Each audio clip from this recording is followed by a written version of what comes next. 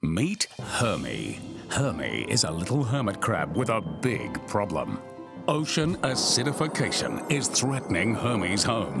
One third of the carbon dioxide pollution created by humans on the land is ending up in the ocean, making it more acidic and making shells and corals weak and brittle. Hermie is about to find out what a more acidic ocean will mean for him. Ha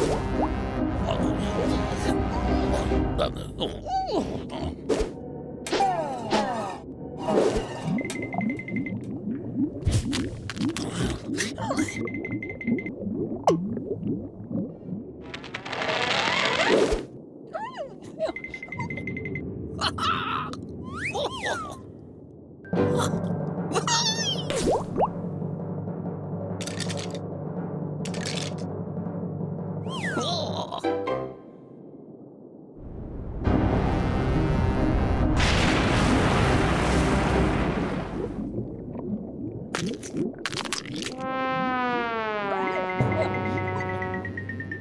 Homeless Hermie needs our help. While his struggle to find a home had an unhappy end, the real future has yet to unfold. By cutting back our energy use, we can help protect Hermie's precious home.